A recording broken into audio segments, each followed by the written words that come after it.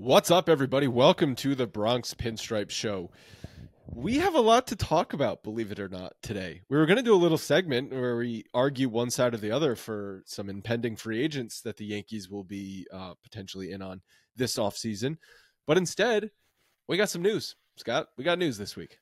Well, first of all, before you even get to any news, don't bury the most important piece here. The Yankees, uh, they're playing right now. We're actually recording during the game, um, but they won a series. Is that the most important piece? I'm just saying they won a series. Okay. First time. First it's been time a long time. It's been a long time. two full months of baseball have Two not won full months before they've won a series. Yeah. You know, like why don't they just listen to John Sterling and win the series? Because that's how you become a good mm. baseball team. That's how you get to the. That's how you get to the the promised land. You got to win series. You just got to Well, win the you series. first first you have to score more runs than your opponent, well, and that's been a challenge. That has been a challenge. That has been a challenge. Giving up less runs also challenge. So you're right. They they're beating up on the Tigers. How many people you think are paying attention to this series or to this team right now at this point? Well, I think that this is going to renew some interest with a little bit of a a, a win, uh, a little bit of a win streak here, which has been a far cry from what what's been happening for the last two months. They have what we're going to be talking about are the kids coming up, and that's something That's that we've what's been. renewing interest. Them Absolutely. playing baseball, winning games against the Tigers, Yeah, does not matter at this point. This team's not making the postseason. But the fact that we've got Jasson Dominguez yes, and Austin Wells coming Yes. up, and there's a lot of waiver waiver news, Lots of waiver activity. Harrison Bader, all of that stuff is very very interesting, and and Dominguez is obviously the lead. The Martians coming up. I think this is unexpected. I'm extremely happy oh, they're Oh, doing it. Oh, oh, oh, oh, oh, excuse me. Hold on a second. Okay, I know you did your bold prediction, but I'm Oh, yeah, talking yeah, about yeah. like give it, give it to me. seven days ago. Give it We had to me. reporters saying, didn't Jack Curry, who's pretty close to the most inside guy, like as far as reporters go, like he gets his information from the source. I think Jack Curry originally reported he does not expect Dominguez to be called up this season. Well, I guess uh, I guess I should take Jack Curry's seat then because uh, this is something that, that I saw and I want my goddamn flowers. You just throw okay? shit against the wall. No, no, no, no. I, you know what? This was called logical deduction. We have a bunch of shitty outfielders. There's a really good kid who's coming up through. Maybe he'll catch fire and actually be that right player. And then the Yankees will use common sense, knocking back to the common sense department, and bring up the talent to to actually play and get a get a taste of the stage.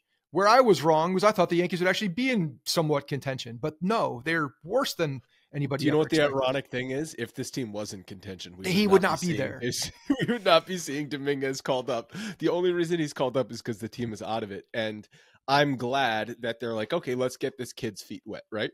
It's not like our development system is anything special in the minors. Like having him get more more at bats in AAA. What the hell is that going to do for the kid? No, let him get at bats at the major league level. Maybe he'll go through some struggles. Maybe he'll he'll have a hot you know month of September. Who cares? Let him. It kinda doesn't matter. at-bats every single. Of course, it does not matter. It kind of doesn't matter. I mean, for the for the player itself as well, because there's a lot of people who are going to say, "Why are you rushing the kid? Why are you bringing him up too early?" He was in double. the kid. He was in double not- A two two weeks ago. It's it's not rushing him. It it doesn't matter. This is furthering developing him at at the highest level where Right. he's going to get a lot of strikes thrown. He's going to have, in theory, the the best people teaching him what to do. And guess what? He's going to be able to see what it's like, feel what it's like, and then have an entire offseason to make any adjustments that he believes and the coaching staff believes are necessary for him to then walk into a full season, which he's going to be starting now in, in Right. spring training. Uh, uh, opening day, Dominguez is going to be the center fielder, most likely. Uh, make adjustments in the offseason. And that right there, to me, is extremely invaluable. And that's that that that goes like when you look at development, you can't possibly develop better than this situation that he's in, honestly. Right, because if the Yankees were in a were in a playoff race right now, then Dominguez's struggles or successes would have consequences beyond just his own personal development. And so he would not be here. And then you could make a case where why are you rushing a 20-year-old that has barely had time in AAA when you're vying for a playoff spot? But that's not the case. Like you like you just said, you're just getting him reps at the major league level so he doesn't have to worry about that next spring training. All he's going to have to worry about heading into next spring training is being in shape, doing the right work, and playing well. That's it. He, he's the job is his, and that's all he needs to worry about. And I Well, think I- that I don't- can go. i I'm not going to go. I don't think we should go that far because that really does take away the, uh, or you know, I mean, it's it's it's par for the course with the accountability piece that we've been talking about. But, But I, I don't like, want him to think that. But with Volpe and Peraza this winter going into the spring, there was that competition, and and Volpe clearly won, right? Like, but so there, there's who would Dominguez even be competing with? Yeah, and uh, an impending free, uh, free agent that or a trade or something along those lines. But you're, you're not wrong in that way in that regard. The job is going to be his unless he completely tanks on something and something bad uh, he does you know doesn't happen or whatever. But the adjustments. The, the other thing is is uh, what you didn't mention is like he's gonna have to go through just play baseball, but he's gonna learn so much for himself, development wise and and mechanically and like just just to get the feel. Do you remember when I think who was it? Uh, was it Jeter that was talking about this in, in the documentary about them coming up in '95 at the end of the year? Granted, very different scenario. That was a good team going through what was a playoff run, but the the things that they took from it, the, being up in the bigs, that with with the rest of the guys, different situation. I understand that, but the fact that these guys have the ability to go up and they will be playing, they will be playing under a circumstance where there is no pressure. There really is no pressure for them.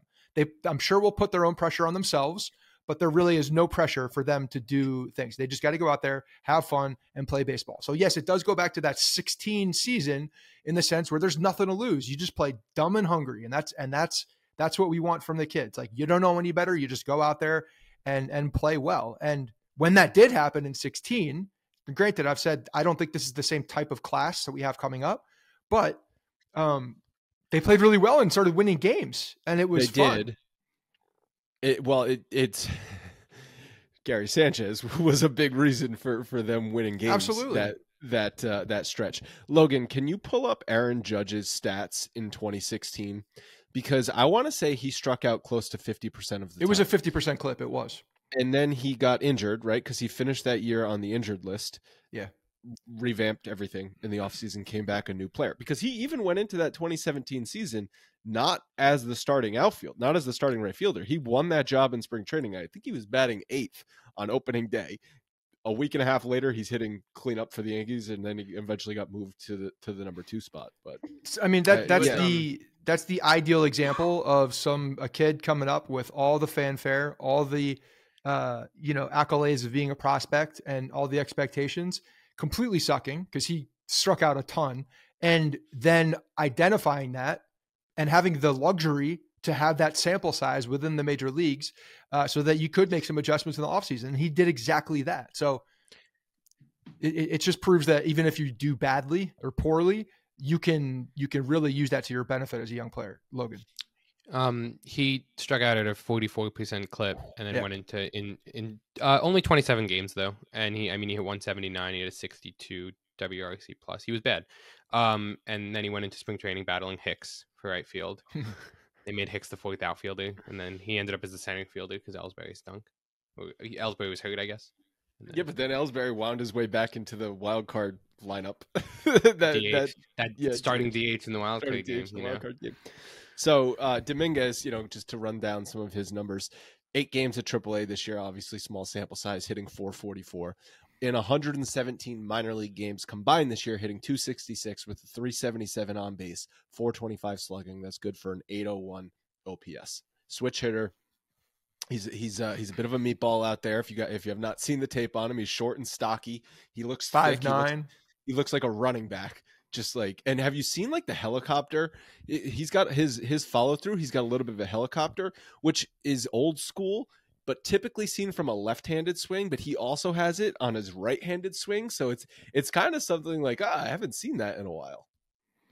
Yeah, and those splits don't even really tell the story too, because that's including all of the the minor league uh, the minor league stats beyond just the AAA. Because the second the second half of him being in Double A, I mean, He's been mashing the last the- month of Double A. He's been absolutely mashing. So, if you really want to get more of an idea of of what the adjustments he's made, you got to look at the the sample size that's a little bit you know further um, further along in Double A, and that's it, man. Like he's got he's showing the ability to make adjustments when adversity hits him. And honestly, when I see a young player doing that, that is the number one thing I'm looking for. Can you make the adjustments? Can you rise your uh, raise your level of play to uh, to to what you're now facing in in better competition? And he's been able to do that. So That's He- really, really encouraging. He is 20. He will be 21 in on February 7th of next year. So he will turn 21 in spring training next year. Is this the youngest player the Yankees have had on the major league roster in like eh, probably in decades? Just about every. I mean, if it wants to make, if you guys want to feel a little old, he is Yeah, um, go for just two, just two weeks older than me. So, Hmm. um, yeah, I'm getting to that point, I guess. Yeah. Yeah, there was a player in the '80s I saw somewhere that uh, that was a, a little bit younger than him, but no, he's he's right there with the with the youngest. So, man, I love it. I'm, I'm I love the fact that that that he is going to be up and and we're going to be able to see him on the biggest stage. It's going to be so much fun to. Uh, can you imagine his f- frame of mind from you know coming where we couldn't see anything but like grainy film of him working out and and like doing all this random shit not very not long ago 2 years ago and now he's he's progressed through the system faster than has he been fa- I mean, faster than anybody really. I, I Greg Bird I know came up from double A at one point but I, from as as far as position players go he he from where he was given his age to where he is currently probably the fastest rising guy that's ever come through the system. And it's kind of been a Gary little- Sanchez was in the minor leagues for 19 years. It's uh so for Dominguez, the interesting thing is when he first was signed by the Yankees, they used all of their signing pool money to sign him. Immediately, he was a higher ranked prospect than he is now.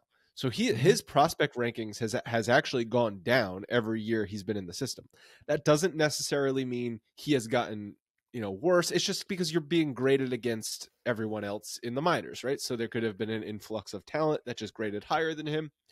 But his rise there was also a lot of speculation around him not necessarily there wasn't any game tape so they were going but off that- of that's all taken into account. I remember we way back, um, we talked to Jim Callis. Jim Callis does rankings for MLB Pipeline. I don't know if he still does, but he talked about how the rankings are done, and part of it is a uh, an un, they do factor in the unknown.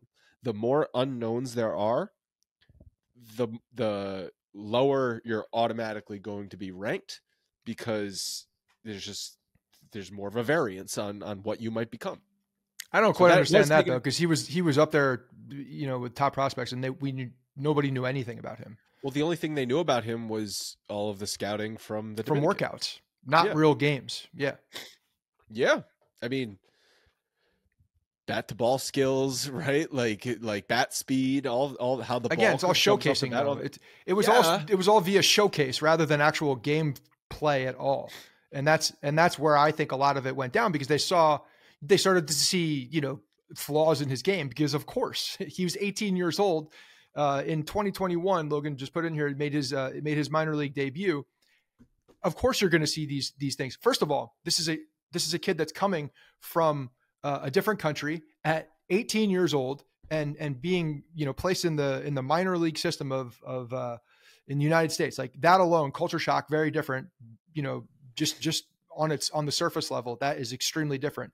And then you got to go and play baseball against the best people you've ever played against um, and then continue to to improve yourself understand that you know that you're going to have to do things differently getting into new habits like all, there's a lot of things that he has made adjustments on not just his baseball game but life um, and been able to fly through this so to me that just means he's oozing with talent and has the ability to make the changes which is exciting Have they given him a number yet? Do we know if he's he's been assigned a number at this point? Curious if they give him like a bullshit number this year and then next year he'll get a real number, if they're just going to give him a real number off the bat. Yeah i doubt that they've announced any numbers because the transaction hasn't it won't happen until tomorrow right I mean, his spring training number, I think. What was it? Probably, I could get it. I don't remember. I think right. it was like 93. yeah, so that's not a real number. But if you want to go see Jasson Dominguez in the next homestand, you should definitely use Gametime to get your tickets. Gametime is our preferred ticketing app because it is the easiest way to buy tickets to whatever you want to go to sporting events, concerts, comedy shows, theater, and much, much more. The app has so many cool features and is very easy to use. It gives you, uh, tells you about flash deals and trending tickets, and you can make informed purchases. And there's also event cancellation protection, so you can buy with confidence. I love using the app because it's a very fast buying process. You'll also get the images of your seats, so you know exactly what to expect. And that's also huge if you've never been to that venue before. And the tickets then go directly to your phone, so you don't have to dig through your email to find them. You can snag tickets today without stress using Gametime. Download the app, create an account, and use code Bronx for $20 off your first purchase. Once again, download the Gametime app and use our promo code Bronx for $20 off your first purchase. Also, Austin Wells coming up uh, for uh, September 1st. In 31 games at AAA level this year, he's hitting 263, 353, 475 with an 828 OPS. And then total in the minors this year, 94 games, he's got a 783 OPS. Um, probably looking at him long term out of the catching position. First, That's base, not what they're saying now, long-term. though. They're not saying that now. They're they're definitely coming back on that to and which makes sense this year, right? They're going to see what it is, but I don't know if they can actually, even if they believe it, I don't know if they can actually say it right now until they get more, uh, get some eyes on him a little bit more in the major leagues. But that was that was the the narrative for a long time was that he's not going to be a catcher for the long the the long term. Um, but specifically recently, Boone's been saying, yeah, he's got the potential. We think he could stay at the position. You- You're you're you're I'm just hoping he doesn't stay at the position to make that decision. You're, you're listening. You're listening to what Aaron. I'm Boone just telling you what's said. I'm just telling you what's being said. Just telling you what's being said. You think they're giving Aaron Boone all the correct information at this point, or are they are they giving him uh, false? I don't think Aaron Boone knows what to do with information when it comes to him. So whether it's correct or not correct, I don't think it matters. Well, now's probably a good time to talk about uh, the future of Aaron Boone. So there's been a couple of a- lot of reports over the past week or so, uh, speculation I will call it. So what was it five days ago? Andy Martino reported, I'm using in air quotes, that he- the Yankees are not moving on from Aaron Boone. His report was basically uh, based on precedent that it is unprecedented for the Yankees to fire a manager before his contract is up and go over it would be going Hal would be going over Brian Cashman's head in order to make that decision because Aaron Boone has one more left year left on his deal and Brian Cashman just signed a new contract. Was that last offseason? He just signed a new a new contract um right? Yes. So so eh, it's unprecedented under the Brian Cashman Yankees for them to fire managers. They don't rehire managers. Joe Torre, not rehired. Joe Girardi, not rehired. There's semantics, but there's a slight difference here. But then you dropped an article, Scott, in our chat, Bob Klapisch, who, again, like, get it, like this guy wrote essentially an autobiography of Brian Cashman. Like, like I don't even know that thing should have said uh, by Brian Cashman with a you know ghostwriting of of Bob Klapisch. That Hal's upset, and it's uh, not out of the question that he would go over Brian Cashman's head to say you need to make a change at manager because we are extremely disappointed with uh, with the results this season. Tisk tisk, find a new a new manager. I, I think the context is important for why he's saying that. Also in the uh, in the article referencing the situation in 17 when Cashman was, you know, going to Hal uh, with a recommendation to not reinstate uh, Joe Girardi and to go a younger path with uh, with Aaron Boone, and he Hal supported Cashman in that regard, and what has happened since then. So I think the fact that the the most recent um, the most recent instance of this happening is correlating with the downturn of this team absolutely should be in in in the forefront of Hal Steinbrenner's mind with how he moves forward and you know whether it's it's with just Brian Cashman, just Aaron Boone, I don't know, but he needs to that needs to be a very significant factor in what he is uh, is looking at. So all, all things are pointing from what Klapisch is saying is that Hal at this point does not feel like he's got to just back Cashman uh, because of of you know the history of where they are, and I think in 17 that was the case. So whether that's Um, true or not is a totally different story. Who knows? Is it bothering you at all that these reporters are acting like they're reporting news when really all they're doing is making informed speculation? Like, I mean, that's all. The, that's all Martino bothering was me. like. It's not bothering Okay, me because that's that is what it is. But but these because these reporters, I know their job isn't just. excuse me. If it were news, isn't if just- it were news, we would know it. It's not news. It's speculation. Yeah, but it's not it's not framed as speculation. And and I get why they do that. They do it because they want clicks on their articles. And of course, these guys are insiders. They they are making informed guesses. They, they, basically, Andy Martino does not think Boone is going anywhere because of X, Y, and Z. And Bob Klapisch is saying, no, it's not out of the question that Aaron Boone could be fired because of X, Y, Z. All they're doing is using the information they've obtained from sources to make guesses. But this is not because I, some people sent me um, the uh, Andy Martino report that's just like, "Yeah, Boone's not going anywhere," and then you dropped in like, "Oh, Boone's getting fired." So it's just like, it- Here, it let me let me read one- this. one thing Let or me- the other. Let me read this because there, there's also, you know, referencing Cashman and and the decisions on Donaldson, Joey Gallo, Frankie Montas, Aaron Hicks, um, and all of the, you know, it's also referencing the, the Yankee analysts on the hot seat, player development Well, staff, why did he use scouting. Donaldson? Hold on. Why did he use Donaldson as like the, the the article? What was the headline of the article? It was confusing. Where it's like Donaldson being released does not uh, calls into How question Yankees' something with release of Josh Donaldson could impact Boone's Yeah. job security. what? Yeah, it's because of their they're they're dumping him and basically calling it a mistake even before the season's Well, over. I yeah, okay. know. So basically, what Klapisch is saying in that article is that Hal understands all of the mistakes that Cashman has made. Most Let me continue to read before you. Josh Donaldson. Let me continue to read. Contrary to the belief of the boss, boss haters on social media, I'm told the owner is deeply upset.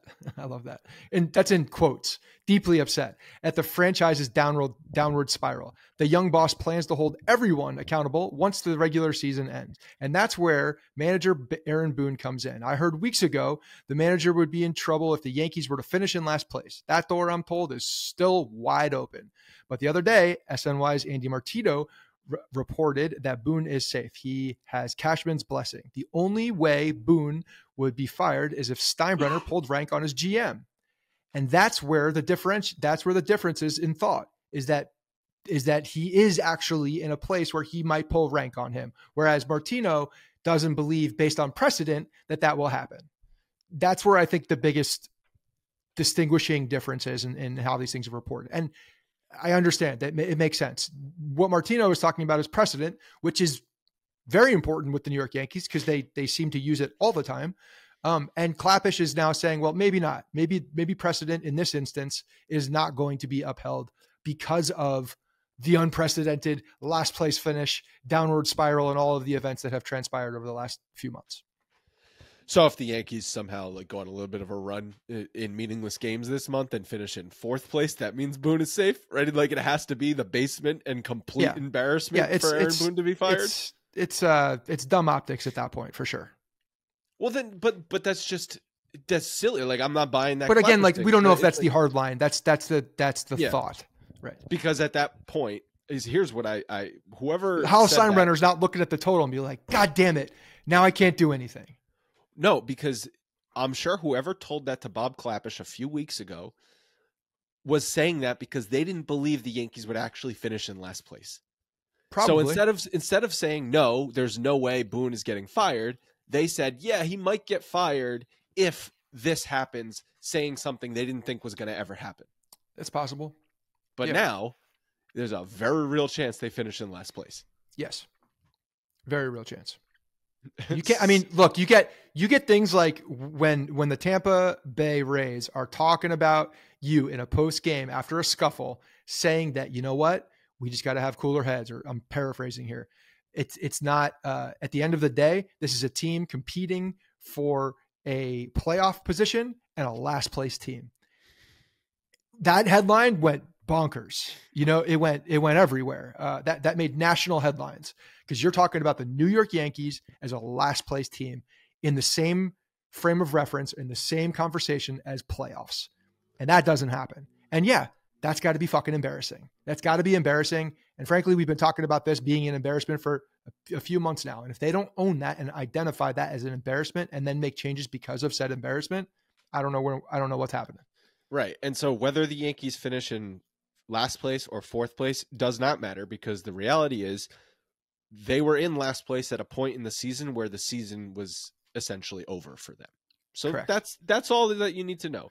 And the only thing that would uh, finish in fourth place, the only thing that would do is 25 years from now, when you're looking up and down the Yankees' history on Baseball Reference, you won't see a last place finish in 2023 right? Like that's the only thing that's going to do for them is that oh, it's X number of your run of not finishing in last place for the Yankees. Well, and also you're looking at this team right now. Okay, it's uh, hold on, it's it was it's it's one nothing, it's uh three nothing, Detroit, um, and it's in the sixth inning. If they if they lose this game, this is where this is the line in the sand for the team that has been playing all year long, and then tomorrow a different team basically, you know, when you know Harrison Bader, who we, we're, we're, we're going to get to the waiver um, claims, but there's a different team coming tomorrow. So what does that actually tell you? If that team finishes in fourth place or last place, what does that even mean when you're talking about Aaron Boone at that point? This is not his team essentially. This is just a bunch of kids that have come up and oh, are, but what are, if are doing something? But who have been if, playing very well. What if Wells and Dominguez play well in September, give this team a Yeah. little bit, bit of a spark, and they they play some good baseball for the last month? I'm glad you And brought then- that up, Andrew. Hold on, and then all we hear about is oh, Aaron Boone really was re- able to relate to to the young Mm. kids that were called up, and Yeah, yeah, we yeah. want his mentorship there for next year when we're really going for it. Uh-huh. I'm glad you brought that up because if that were the case, Joe Girardi would still have been the manager after 2016, 2017, when he got the most out of this young core who has shown nothing but but uh, a slide down under the same guy that we're talking about, Aaron Boone. So we want to talk about precedent. Precedent's not there. Joe Girardi had some success. Aaron Boone has had not, not had not has not had success. So there's nothing there to point to besides the fact that guess what? Maybe these kids are just talented. If that if that is what happens, so the the very opposite could happen too. Is if they come up and struggle. well, did I say last was this did I say this on air or not that Dominguez and Wells, you know, showing something could actually, you know, make people make fans a little bit happier with Cashman this year going into the offseason because they could say like, "Oh, at least he's developing some young talent and then there's something to look forward to for next year." Whereas I'm not going to feel this way because I hope I can be a little bit more logical than this, but if you know, if Jasson Dominguez strikes out 44% of the time like Aaron Judge did in 2016, that doesn't mean his career is over. It's just it's one month of his first month in the big leagues. But if he hits 350 with 7 home runs and 10 doubles, it's the Gary Sanchez Aaron Judge relationship. This is exactly Yeah. what happened. And look what happened after that. One guy went up, one guy went down. yeah. And they were they were they were opposites uh, in that first you know month and a half stint. Gary Sanchez looked like Babe Ruth, uh, and then you know, granted he he did have good he made it all start. years. He he was an yeah, he had good offensive years. I'm not, I'm not, I'm not taking that away. But trajectory wise, and you look at the the you know five six year span of how they're playing, one guy one guy is significantly better, and actually the other guy that didn't do well just went somewhere else, and oh by the way, is actually playing decently. All right. Well, I want to talk about all the waiver madness, but first, AG1 is all of your key health products rolled up into one delicious beverage. AG1 is loaded with 75 high quality vitamins, minerals, whole food sourced ingredients, probiotics, and adaptogens. It promotes gut health with pre and probiotics. It also gives you better sleep quality and recovery and allows you to focus throughout the day with no crashes because AG1 contains less than one gram of sugar, no GMOs, no nasty chemicals or artificial flavoring. The best part is they make it very easy to build into your routine because it's delivered directly to your door on a monthly basis.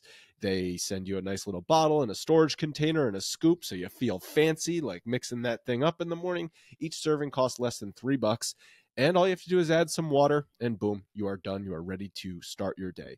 To try it for yourself, go to drinkag1.com slash pinstripes for a free one-year supply of immune-supporting vitamin D and five free travel packs.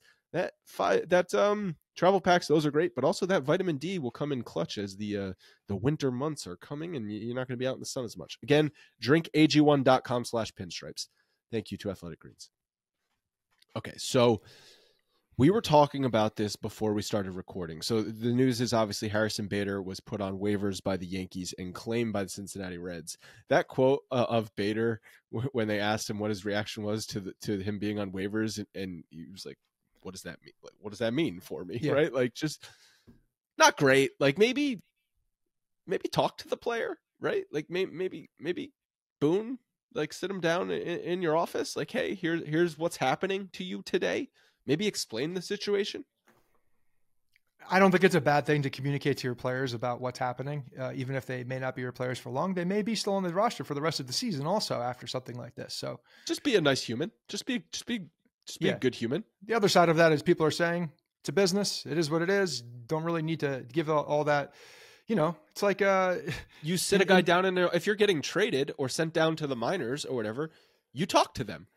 This is a life. I don't change. think it hurts. I don't think it hurts. I think it's. I think it's a. I think it's a, a, a thing that you can do. Like Harrison Bader, yeah, he's a professional making millions of dollars. He's also going to have to move cities very soon. So maybe tell him he's going to have to do that, right? So, but there has just been a bevy of waiver activity before the August 31st deadline. Uh, Renfroe was also claimed by the Reds. Giolito, Lopez, and more all claimed by the Guardians. Um, Donaldson, who was put out on waivers, was uh, no nobody's picked him up, uh, but the Brewers were showing some interest, and then Randal Grichuk uh, also was waived. So uh, this year, because there is no waiver deadline, um, trade deadline, no waiver trade deadline, you put a guy out on waivers, and if someone else picks him up, they take on that salary, and he is added to that roster. And the reason it's all happening today is because in order to be eligible for the postseason roster, you have to add a player by September 1st to your uh, to your roster. So that's why we're seeing a lot of this activity this last week of August. Before, um, but also a lot of circumstantial reasons why it's happening too, because of the, the the the way that the trades went down with the Angels, the amount of players, and now that they're completely out of it, you just don't see it very often where where teams make make runs at something and then this this far away from the end of the season, they realize they're out of it, so they're able to do said thing, right? Like the Angels in the past. Let's say a team like the Angels went out makes those makes those trades, they're probably still nine out of ten times that team is still in the running. You know, with with a couple weeks left in the season, and they can't possibly do this. So there was a there was an unusual circumstance with the with players getting out, and then even before, like the, the biggest difference is the fact if they do go through waivers, um, you don't have the ability to make any trades. So now the waiver priority becomes that much more important for doing jockeying certain ways. We were talking about, I'm scratching my head a little bit and why the Guardians made the claims that they did, but they also were able to be ahead of the Twins who were putting in a claim for said players and five games for that division. That's possible. You could make that. I don't know how many games they have. I'm pretty to, sure the Guardians made up about that uh, that many games on the Twins last September. Yeah, didn't they? So them adding some pitching, them adding like Giolito and uh, and and Lopez, and they're they they are significantly making their team better. Probably staying under thresholds, I would assume. I haven't looked at their luxury tax situation, but knowing Cleveland, I would assume that that would still keep them under a, particular level. So them paying a little bit of money at the end of the uh, at the end of the year for you know significant talent to make up five games and completely screw the Minnesota Twins, kind of like it. Kind of like it. I think it's an interesting, savvy move yeah, it used to happen all the time. Uh, back when the Yankees and the Red Sox in the early 2000s, the Red Sox would always put in claims, or you'd even see like Baltimore or Toronto put in claims so the Yankees and the Red Sox couldn't get guys, even though those teams were really not in the playoff race. A lot of um, a lot of screwing over of other teams would happen that way. Uh, but when there was an actual waiver trade deadline, you would have to you would have a certain amount of time to if that guy cleared waivers to then make a deal with a team uh, or else he ends up back on your roster. That's why sometimes you would see big name, big money players be put on waivers because teams were like, yeah, maybe a team will just take this money off of our hands. It happened with well, they they also know that they also know that they will clear waivers, right? And right. then they'll have the ability to negotiate a trade potentially, which that doesn't exist anymore. So that was the other piece. Like they like if that were still a thing, the Yankees could put uh, Giancarlo on. They could they could have done it also, but it wouldn't have, it would have been bad. It would have been bad optics. But they, if there were a trade deadline uh, for waivers, then they would have the ability to negotiate trades afterwards, and that's just not the case anymore. So the reason, well, they did it with Bader, Uh, I think that's an indication that he is not going to be re- signed in the offseason. But obviously, they'll still have the ability to do that. Uh, Harrison Bader uh, obviously has not had a good year uh, this year. He's got a 640 OPS in 63 games, uh, which is actually significantly worse than his career average. But what this also does is it saves a million ish dollars off the luxury tax for the Yankees. Um, and they have been right up against that top tax threshold. So they could be making some moves here, not only to clear 40 man roster spots to get guys up, but also saving a little extra money to make sure they're under that top tax threshold. Yeah, the um it's interesting. It's just and th- I think, you know, one of the bigger the fact that they have to clear space, obviously they uh they also released the um, the the player that they traded for who got hurt in AAA. He was really just a depth piece. Um, completely missing his name right now. I don't think anybody needs to know that guy's name. But uh, that that was the second piece that they actually traded along with Middleton and also a release. But again, like that guy was more of a depth piece. Like that was just speaks to the lack of activity that Cashman had at the trade deadline. That him, this guy being the second piece. Otherwise, we would never have talked about it. It would have just been a transaction, you know, on the on the wire and uh, and have gone into into space. Yeah, Spencer Howard. So, um, yeah, it's just it's it's interesting how they're how the waivers this year really took an interesting turn with the circumstances that it did, specifically with the with the Angels, really, and how they were able to release some significantly high players and only on one year deals. That's the that's the kicker, right? If it's multi year deals, you're probably not seeing these guys getting uh, picked up or even waived at that point. What are your thoughts now on the Harrison Bader Jordan Montgomery trade? I mean, pretty much what we thought it was originally. It was a it was never really a great trade. It was always a, a, a puzzling trade when you give up a, a very solid starting pitcher and one Montgomery's been fantastic since he left.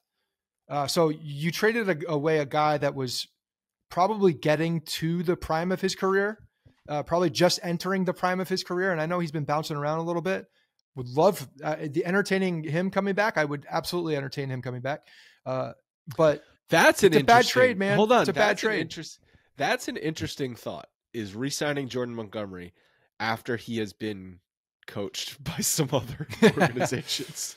yeah, I mean, you he's gonna eh, that is gonna be a conversation. That will be a conversation. So. Well, it's a, the, they, the, the Bader the Bader Montgomery trade is interesting, right? Because it first happened, and we're like, "Wait, you just traded away a pretty solid starter for a guy that's not going to play until September. And then Bader had an amazing postseason for the Yankees, and everyone's like, Cash God did it again. And then Bader goes on the IL to start this season, comes back, is super hot in the first week and a half. He comes back.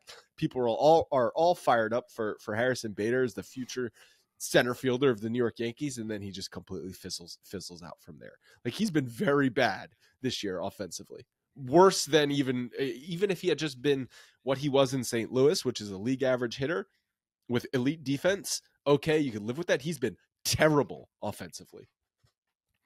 Yeah, and you start comparing you start comparing guys like that with the numbers that we've seen from Harrison Bader to what uh, a guy like Estevan Florial. And I'm not talking about our top prospects. I'm talking about a guy that's been, you know, off the prospect list for a long time now and has not really uh, made it in into the, the major leagues and had success. But frankly, you put up like offensive numbers from him staying in as long, I bet they would be not that far off. And he can play really good defense as well. So what's the point in signing a player like that at that point? You, you, there's no point. There's no point. There's no upside. When you have no upside with a player, I don't understand what you're doing uh, over with a long term contract. Well, I think they believed there was more upside with Bader that they could. No, I'm talking about for the future. Yeah, yeah. But no. looking looking forward, when when you're you're seeing a guy like that, and then you have uh, the available um, pieces if they're going in the minor leagues to fill that position, it's really not that big of a difference. The discrepancy is not much, and the upside is with a a guy like Dominguez coming in. What a just a complete botch job Cashman did with the outfield this year for the Yankees. He went into this season with Judge, obviously, and Bader and Hicks, two giant question marks because of health and performance, and Stanton, who you can't you can't rely on to be an outfielder. That was what they this team went into for an outfield unit. That's that's terrible roster management. Yeah, it is. It's bad. There's nothing else to be said about that. It's bad. And IKF, management. who was your shortstop last year, He wasn't even this an option not, at that This point. This is not shitting on IKF. He's been a valuable super utility player for you this year. But come on, that's what you go into a season you're expected to win a championship in with an outfield. it that's wasn't even expected that that IKF was going to play the outfield at that point, though. I, It was out of necessity. He had to do IKF it out of necessity said raises his hand and said I could play the outfield, and, and they they put him out there, and and he held it down uh, in a in an admirable way out there. I mean, played pretty good defense actually. So Oh, Oswaldo Cabrera as well, who's what we've learned is just a quad A player. Yeah, the Yankees can develop quad A players. Like they're pretty good at developing that. Maybe there'll be a new league developed where you know you get relegated and then you can win a World Series. You can win a quad A World Series. I still don't understand that whole thing. Like, why why are you getting excited about a minor league championship if that's actually what it is when you're not in the big league in soccer? I don't quite understand that whole thing. Different podcast. Um, What but are you yeah, talking about. Hold on, what are you talking about? Oh, When you get in- reg- in- when in you- the- in- when you get uh, from like uh, European soccer, you get relegated, yeah, and then it's like Yeah. you win in the lower league. I don't know because yeah, if you cool. win, you can get you can get bumped back up. okay. It's still you still suck. You're still last place and you got sent down, Would right? you Like rather it's- first place in the shitty league or last or last place in the good league? I guess you'd rather be last place in the good league, right? Yeah, I want to be. I want to have the opportunity to, to compete for a title in the good league. But if you're last place in the good league, then you get bounced down to the shitty league. I mean, that's just that's like saying this year, let's go play AAA and feel good about that. It's it's not no. Well, there, was, there was a point in this season the Yankees would have been spanked by some AAA teams. Yeah, probably. So Um, yeah, all the the whole wa- the whole waiver thing, man, was uh is is really interesting, and I think we finally have some excitement. And you know, even looking at what's what's happening on the roster, I know we talked about this in the last episode, but there have been uh, more developments because they've been playing more more games and succeeding with Severino and uh, uh, with Michael King actually pitching Severino pitching well. And I understand it's against Detroit. I don't really care. I just need to see him again. He goes back to back. Has the has the you know what this know, is? You know what this is all leading up to. You know what this is leading up to. Finishing strong for Severino. yeah. Everyone gets that twinkle in their eye about That's oh, great. there's there's the Cy Young Severino incentives, that we all incentive laden contract. Yes. Okay. Yeah.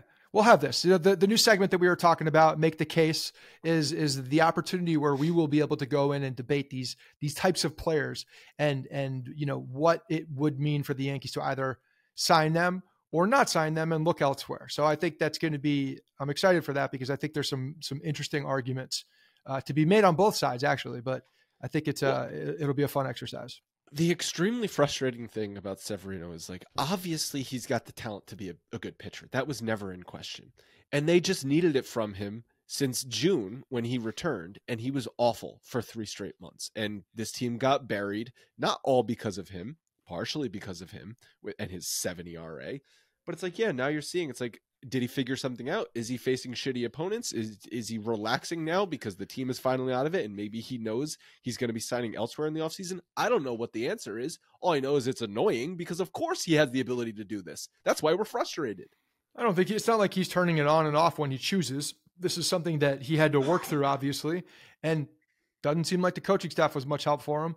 Seems like it, it, took uh, as long as it needed to for him to fix mechanical flaws, and that's probably just more reps and more reps and more reps and and just doing the thing, uh, you know, countless times to to find the the right release point, to find the right mechanics, to find the right things. So I'm just glad he's healthy. I'm glad he's having fun and and throwing the ball well uh, because you can see it. And and when you have a loose Severino out there, you see you see why we have that twinkle in our eye because the guy does have all the talent in the world. And then Michael King, you're looking at him, you know, getting stretched out again. Is another this- dude where you see the you see the potential, you see the uh, the ability it, with him if he's able to put it together and, and really be sustainable through six seven innings. If that's a if that's a real thing and he's able to sustain the the stuff that he has over an extended period of time he came up as a starter uh, um, and you know has been used in the bullpen obviously. But if he's if he is able to do that and and you know this is a guy that that will be on the Yankees that's a huge deal. Because I do believe that they're able to find pieces for the bullpen that can you know take that that spot that that he has uh, that he has been in. As we've seen, it's much harder to find and develop, and much more expensive to have starting pitching that's effective and that can help you out. Hopefully, King can be instructed this offseason and the Yankees can just make the decision work as if you're going to be a starting pitcher next year. Yeah. Like like don't don't have it be ambiguous, right? Like maybe he'll start, maybe he'll be an opener, maybe he'll be a swingman. No. Let's see if he can be a starter next year. Give him a month run at the start of the season. Give him a 2 month run. If it doesn't work out, move him back to the bullpen.